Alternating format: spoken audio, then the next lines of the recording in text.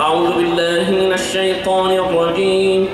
بسم الله الرحمن الرحيم.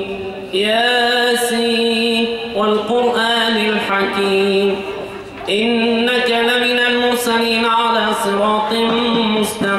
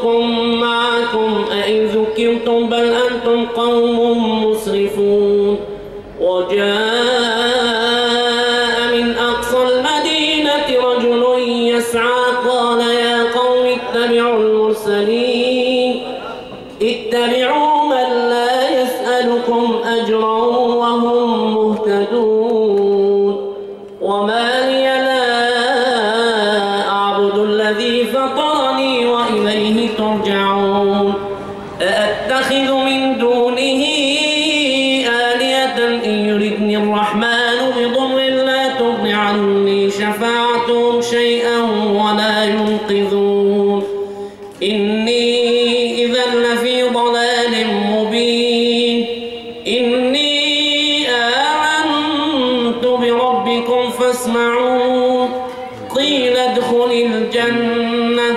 قال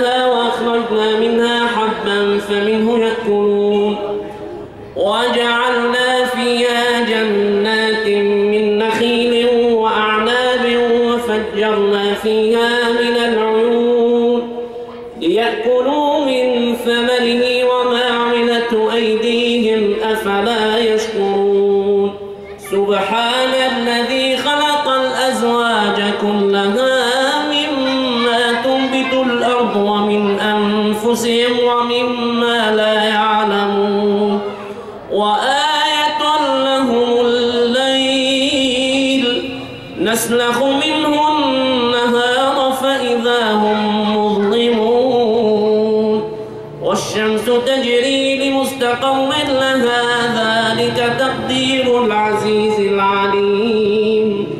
والقمر قدرناه منازل حتى عاد كالعرجون القديم. لا الشمس ينبغي لها أن تدرك القمر ولا الليل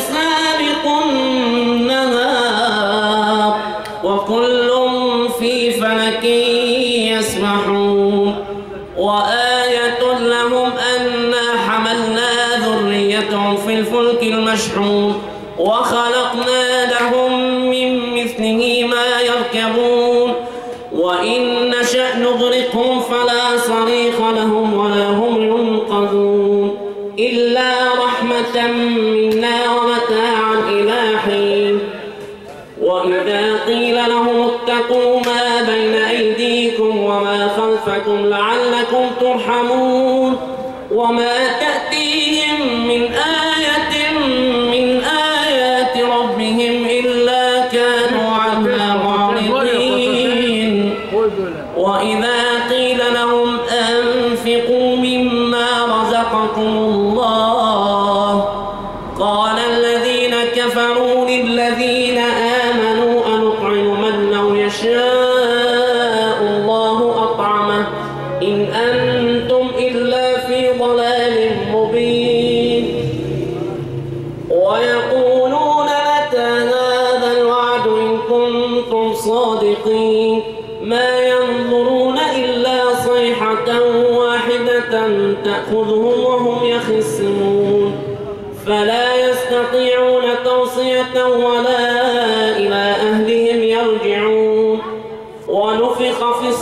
فإذا هم من الأجل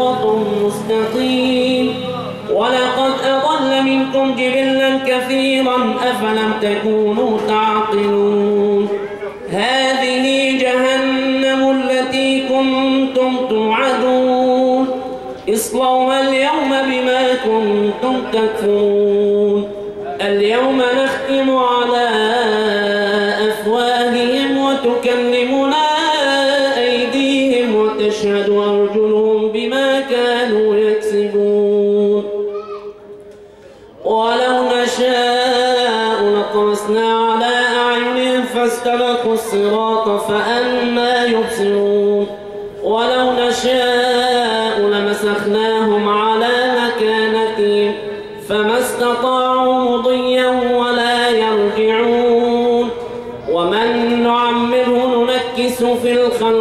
فلا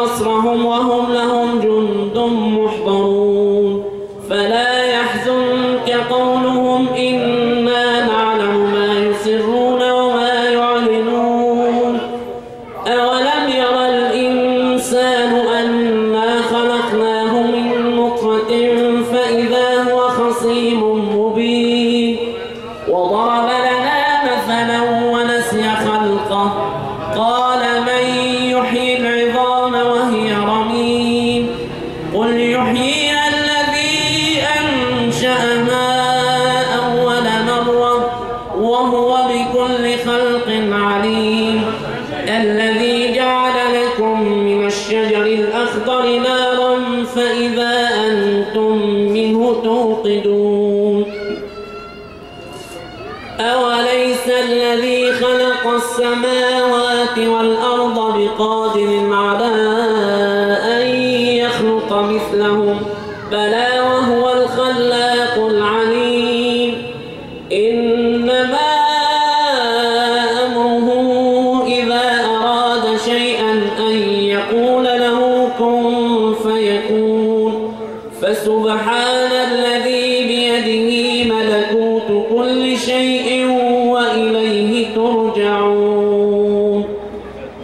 آمنت بالله صدق الله العظيم.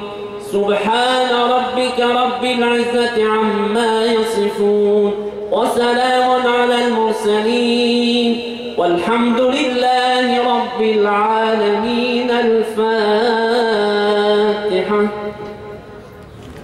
الله وقال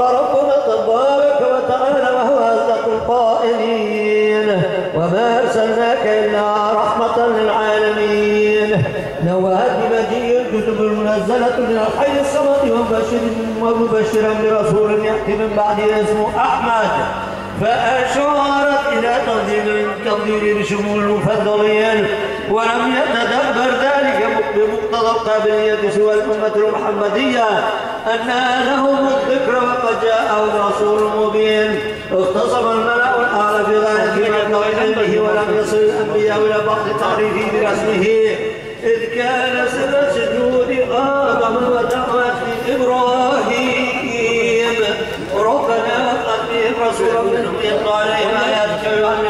ويعلمهم الكتاب والحكمة ويزكيهم إنك أنت العزيز الحكيم نزهه مولاه عما يقول الظالمون وقال تعالى وما صاحبكم بمجنون ثم أقسم بأمره في القرآن محفوظ مصون فتدبر حبيبي العمر إنه لفي سكتهم يعمهون فتبشروا يا بتأخير الفاخر وكان أول ما خلق الله نور نبيك يا جابر. فلذا جعله في الردة الحزبانية المقدمة لقدنا من النبيين ميثاقهم منك ومن نوح وإبراهيم وموسى وعيسى ابن مريم. عين أعيان.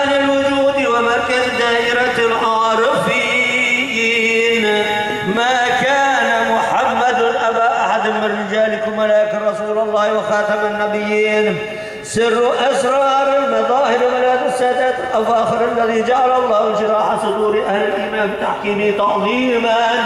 فلا وربك لا يؤمنون حتى يحكموك فيما شجر بينهم ثم ثم لا يجدوا في أنفسهم حرجا مما قضيت ويسلموا تسليما. هذا واصلة المذنبين قال لنا ملقن الحجة مع التصريح والتبين لنعلم كيف تشبث الأديان وتمخت فيما ولو أنهم واستغفروا الله واستغفر لهم الرسول وجدوا الله توابا رحيما. يا قرة عين العاصين يا حبيب الله. أنت الذي لا ذاك حقق وقوسين أبد الناظر تجليه كما أراد وكيف أراد. ما زاغ البصر وما أتراك حين ينالك وفاء عهد وسوف يؤتيك ربك فترضى.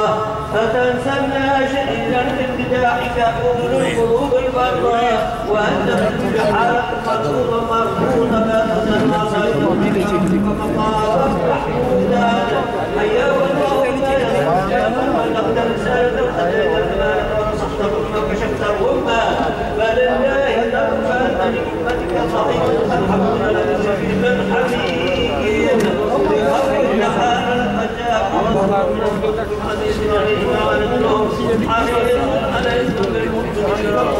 إن تولوا فقل حسبي الله لا إله إلا هو عليه توكلت وهو رب العرش العظيم صلوا عليه وسلموا تسليما حصاتنا الجنة ونحن نصر عليه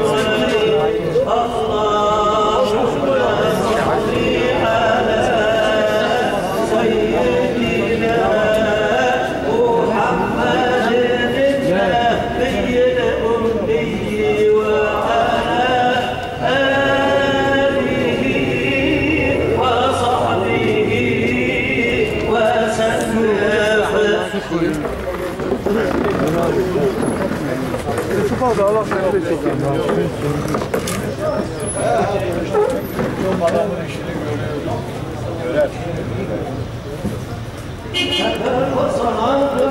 والسلام عليك يا رسول الله واذكر بمعجزاته وما اختص به صلى الله عليه وسلم ان معجزاته صلى الله عليه وسلم مستمرة يوم القيامة ومعجزات سائر الانبياء عليهم السلام انفرضت لوقتها ولم يبقى منها إلا خبرها. ومن معجزاته صلى الله عليه وسلم تسبيح الطعام في كفه المبارك كما ورد في البخاري من حديث ابن مسعود رضي الله عنه أنه قال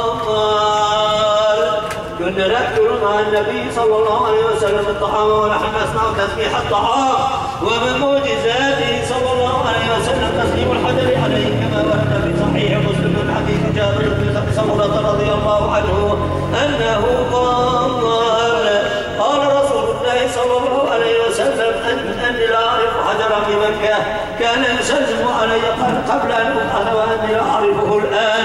ومنها كلام الشجر والسلام عليه كما ورد عن علي بن أبي طالب رضي الله عنه وكرم الله وجهه انه قال كنت مع رسول الله صلى الله عليه وسلم بمكة فخرجنا في بعض نواحيها فاستقبله جبل ولا حجر. الا وهو يقول السلام عليك يا رسول الله. ومن معجزاته صلى الله عليه وسلم حنين الجمع شوقا إليه ونبع الماء الطور من بين اصابعه وتفجير الماء وتفجير الماء ببركته. وتكثير وتكثير الطعام القليل بدعائه صلى الله عليه وسلم. وكان له من العمر ثلاث وستون سنة وكان أطلع الأنبياء إلى الله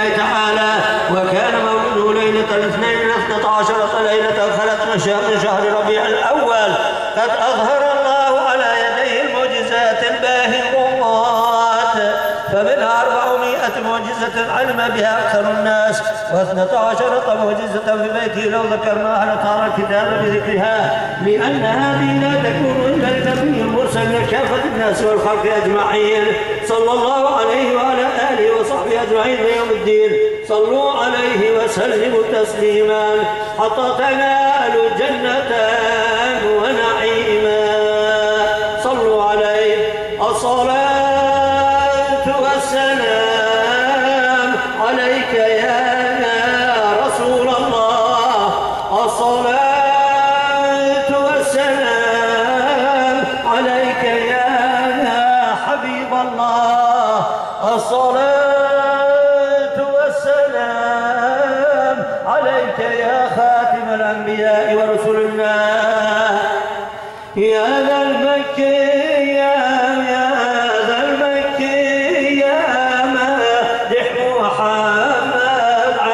عزيز علي حبيب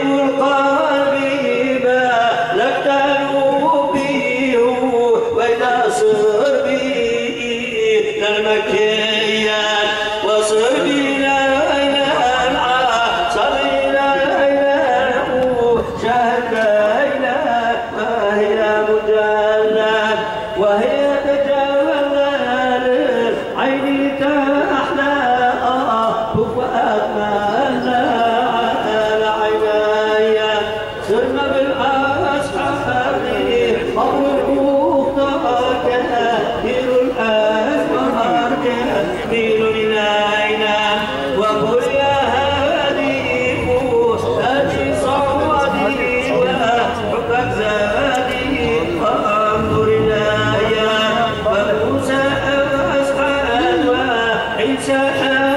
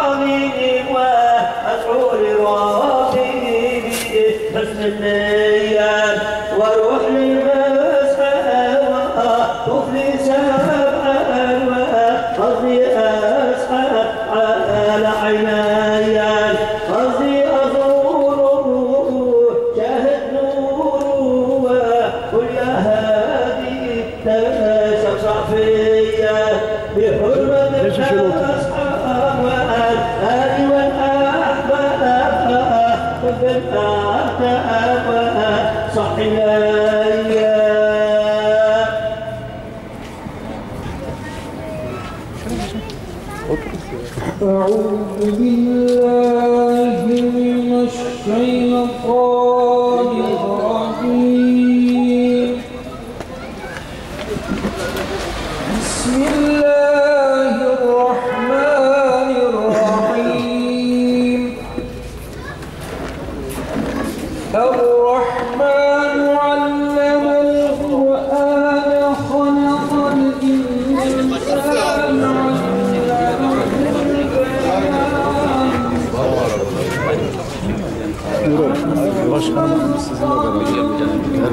Başkanım bir daha tokalaşır mısın? Mehmet abi. Nasıl Başarılar diliyorum. Biz yanınızda değiliz ama hani Anladınız değil mi? Gözle bakın Serap Apartı Başkanı.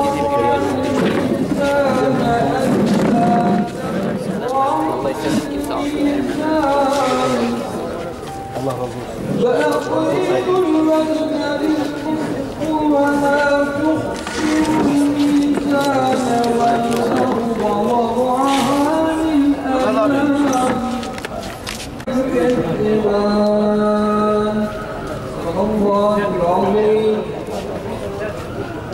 Kim bilir bir şey onu bu aynı sana Söylediler de söyledim tamam. Yok tamam. Tamam bir şey olursa.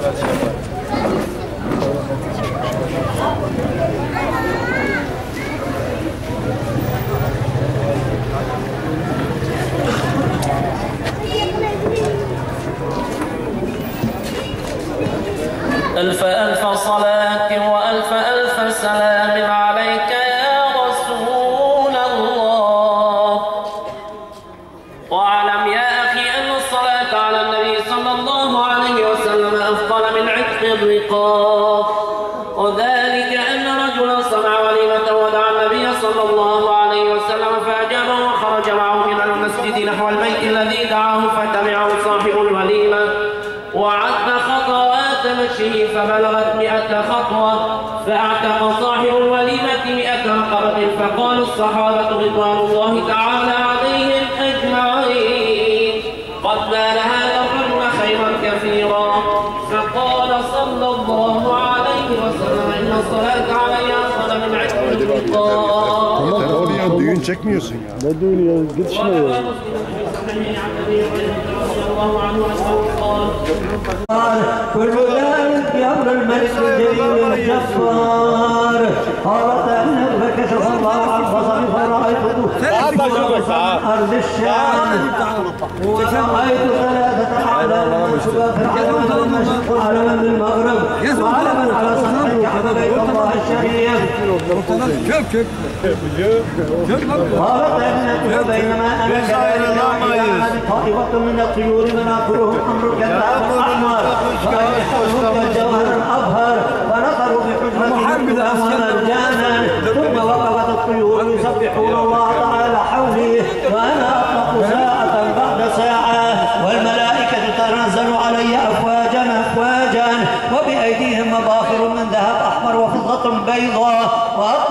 الند والعود والعنبر والبخور ورفعوا أصواتهم بالصلاة والسلام على الرسول المكرم والحبيب المفخم. صلى الله عليه وسلم وشرف وعظم قال الثامنة وانتشر القمر فوق رأسك الخيمة واصطفت النجوم على رأسك القناديل البهية. وإذا أنا بشربة بيضاء كفرية أشد بياضا من اللبن وأحلى من السكر والعسل وأبرد من الثلج. وكان شديد فتناولتها وشربتها فلم أجد شيئا ألذ منها وأضاء علي منها نور عظيم. ثم نظرت وإذا أنا بطير أبيض قد دخل علي بحجرتي. ثم مر بجناحيه على فؤادي فوضعت النبي الرسول الهادي.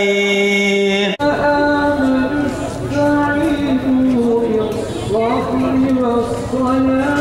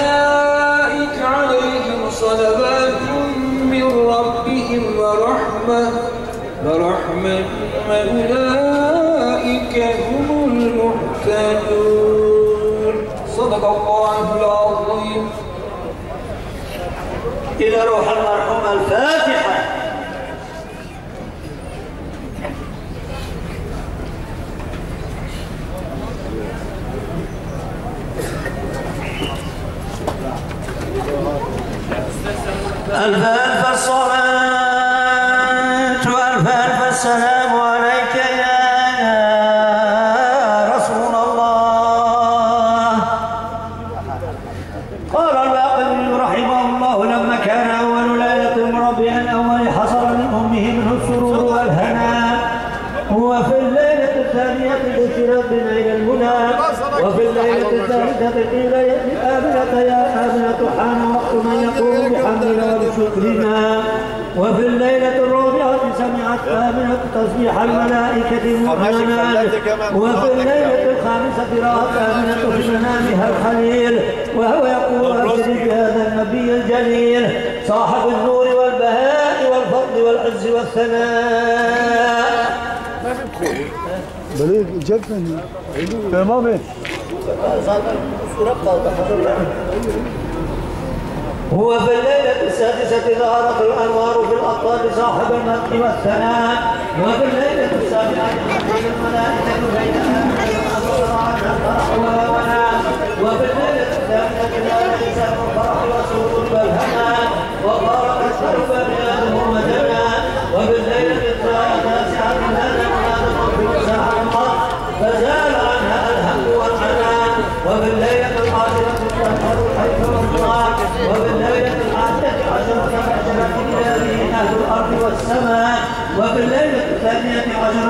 عشرة قارت آمنة وكانت ليلة مقبلة وليس فيها ظلام.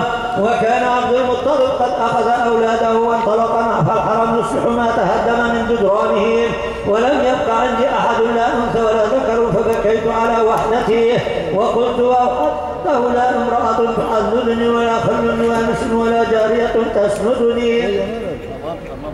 يا نار كتاكيب شوية ياك حطيت النار على خور طب